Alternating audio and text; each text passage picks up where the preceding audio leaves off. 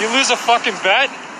They put the walk sign before the light now, you stupid fuck. You go down this way. You don't that go that way. That's the wrong fucking way. Motorized like anybody. Who the fuck dyed your hair? Did you lose a bet? Who fucked your teeth? Your sister? My, my teeth. I got pearly whites. Really? Look at the look at that fucking hairdo. You're not gonna win this one. We'll go through your shirt, your shoes, your fucking. brother. Yeah. Have a great day. Good luck.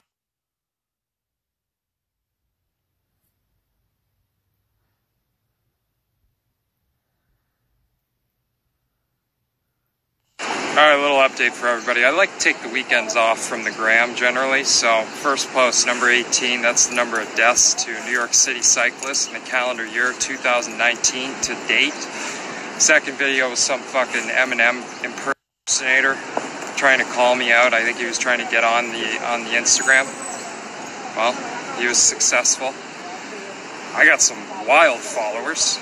The guy with the four stab wounds, we're gonna catch up, break bread once he's back on his feet. Had a great audition for this show, Letterkenny. Wild fucking show. I was told by casting he could be very useful for the show, but he didn't play the charm enough. charm. I thought I was extremely charming.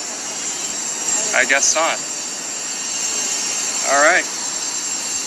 Still uh, looking for a key for Gramercy Park, by the way. I'll, I'll find one.